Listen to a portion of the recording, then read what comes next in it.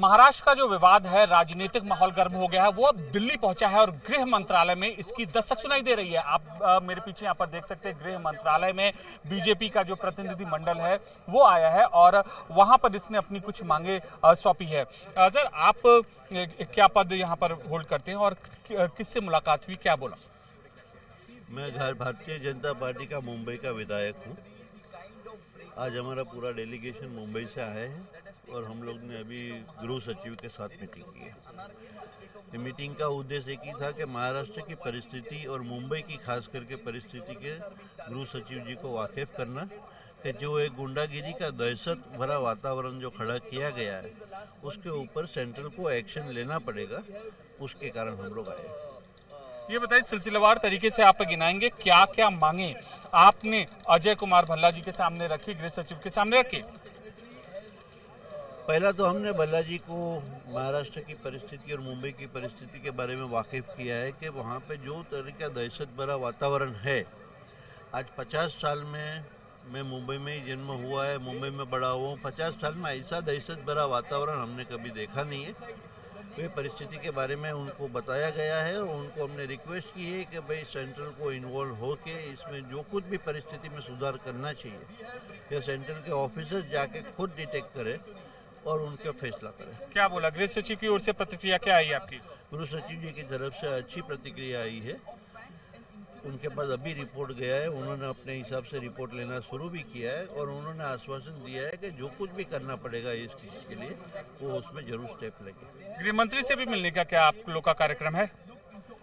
गृह मंत्री जी का तो समय आज हमने नहीं लिया है बट गृह मंत्री जी के सचिव को आज मिल गया आप देख सकते हैं इस तरीके से जो बीजेपी का प्रतिनिधि मंडल दल के जो सदस्यगण हैं, वो यहाँ पर आ रहे हैं। उन्होंने मुलाकात की। यह मांग पत्र है। देवेंद्र फडणवीस, जो कि विपक्ष के नेता हैं, उनकी ओर से यह मांग पत्र रखी गई है और इसमें जो सारा सिलसिलेवार तरीके से यह ज़िक्र किया गया है कि आखिरकार क्या परिस्थितियाँ थी और किस वजह से यह पूरा का पूरा विवाद उत्पन्न हुआ। और भी लोग हैं यहाँ पर। आप यहाँ पर देख सकते हैं कि यह जो बीजेपी के नेता है प्रतिनिधि मंडल दल के जो सदस्य हैं, वो आए हैं। हैं। यहाँ पर उन्होंने मुलाकात की। तो अब दस्तक इसकी सुनाई दे रही है दिल्ली में और तमाम नेता गृह मंत्रालय में यहाँ पर आए हुए हैं। इस तरीके से उन्होंने अपनी बात यहाँ पर रखी है।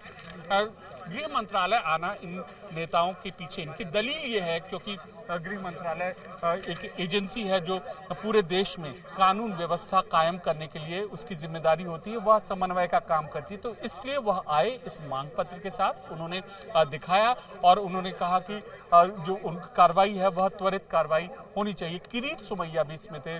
इसके अलावा बीजेपी के कुछ विधायक भी थे। इसके अलावा बीजेपी के, महाराष्ट्र बीजेपी के पदाधिकारी थे। देवेंद्र फडणवीस की नेतृत्व में या देवेंद्र फडणवीस की ओर से यह पत्र उनको सौंपा गया है।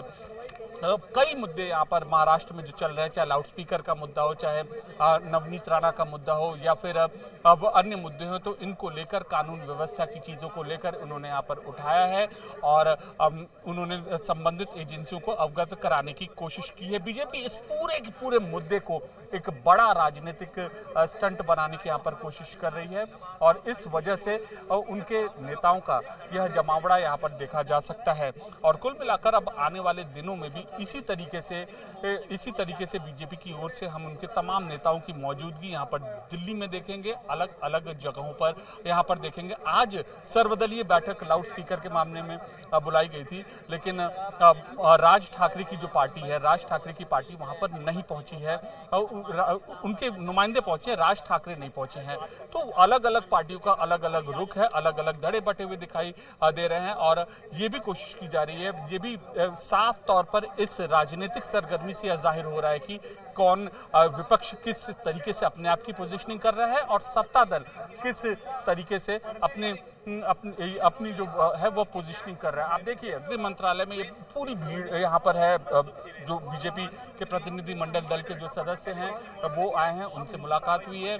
इसके अलावा अन्य वरिष्ठ अधिकारियों से यहाँ पर इनकी मुलाकात है। तमाम जो बीजेपी के पदाधिकारी हैं, उनका जमावड़ा यहाँ पर गृह मंत्रालय के सामने यहाँ पर लगा हुआ है। और आने वाले दिनों में भी इसके इस पूरे प्रकरण की यहाँ पर गूंज सुनाई देगी। हमारे साथ प्रतिनिधि मंडल दल के सदस्य हैं।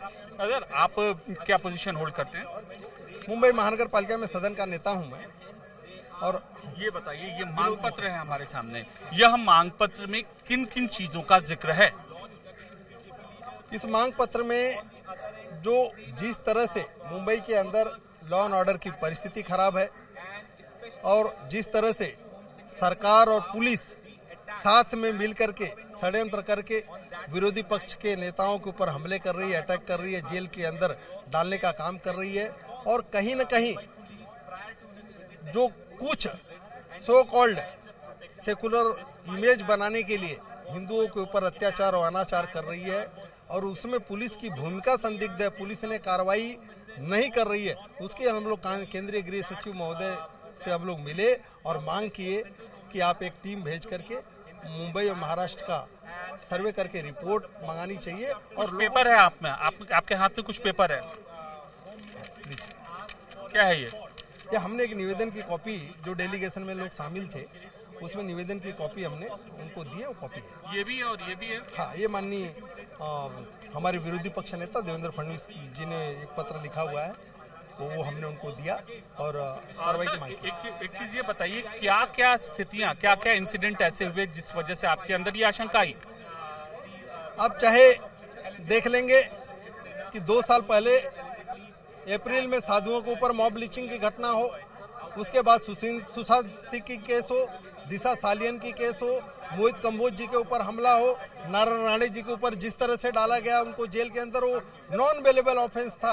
इस तरह से उनका वहीं पर उन्हीं का सांसद उन्हीं सब घटना मिलाकर आप घटना और पूरा मुंबई में या महाराष्ट्र में ये लोग पूरे बदले की भावने पे उतर गए हैं सिर्फ़ विरोधियों को दबाने के चक्कर में अनार्की फैला के रखे हुए। तो सब घटना मिलाकर आया हुआ है बीजेपी का यह प्रतिनिधिमंडल दल का दल है और साफ़ तौर पर इस बात की ओर इशारा करता है कि राजनीतिक माहौल महाराष्ट्र में इन सारे प्रकरण को लेकर गर्म है। कैमरा पर्सन जयपाल रावत के साथ Amit Pandey Delhi news eighteen India. BJP प्रतिनिधि मंडल का दल गृह सचिव से मुलाकात कर बाहर निकल चुका है और आप देख सकते हैं तस्वीरों में किरीट सुमैया है बीजेपी के नेता जो पिछले काफ़ी समय से आरोप लगा रहे हैं अलग अलग दलों पे आरोप लगा रहे हैं, रूलिंग पार्टी में जो शामिल है कि वह कैसे कानून व्यवस्था बिगाड़ने का काम कर रहे हैं। किरीट सुमैया के अलावा बीजेपी के जो विधायक है मुंबई से, वह हैं, इसके अलावा जो एमसी जो सदन में जो कॉरपोरेशन के नेता हैं, वह मौजूद हैं। तो यह जो विवाद है, महाराष्ट्र का राजनीतिक विवाद है, वह दिल्ली पहुँच चुका है और शिकायत के रूप में यह प्रतिनिधिमंडल आया है यहाँ पर। यह शिकायत कर रहा है। सीधे गृह मंत्रालय में इन्होंने यहाँ पर शिकायत की है, गृह सचिव में शिकायत की है, गृह सचिव से शिकायत की है और यह दावा कर रहे हैं कि इसके त्वरित जो है त्वरित निराकरण का या फिर इसके समाधान का इनको आश्वासन मिला है। और अब सबकी नज़रें होगी कि इनकी इनका कदम क्या होगा। इसके अलावा सरकार का, केंद्र सरकार का क्या कदम होगा। कैमरा पर्सन जयपाल रावत के साथ Amit Pandey, Delhi news eighteen India.